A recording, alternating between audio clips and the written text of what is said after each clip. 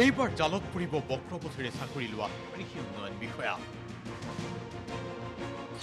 Forensic প্ৰতিবেদনৰ ভিত্তিত জেৰাৰ বাবে তলব কৰ্মৰত কৃষি উন্নয়ন বিষয়াক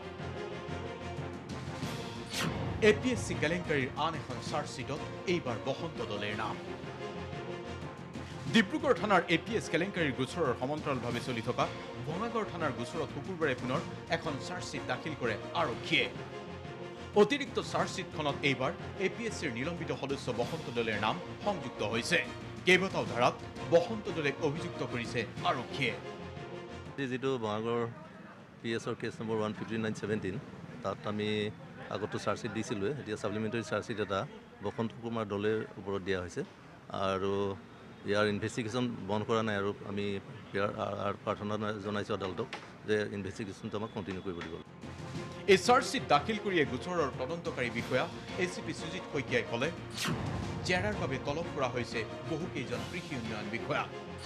তদন্তৰ খাতিৰত প্ৰয়োজন হ'লে গ্ৰেপ্তাৰ কৰা হ'ব অভিযুক্তসকলক।